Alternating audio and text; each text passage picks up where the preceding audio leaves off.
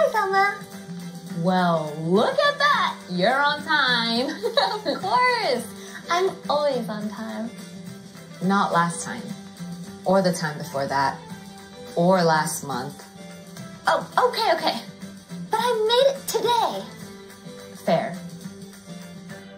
Oh, Emily, I'm so glad you're here. Good luck. You're going to be great. I can't go out there. I'm too nervous. Paul, look at me. Just relax. You can do this. Okay.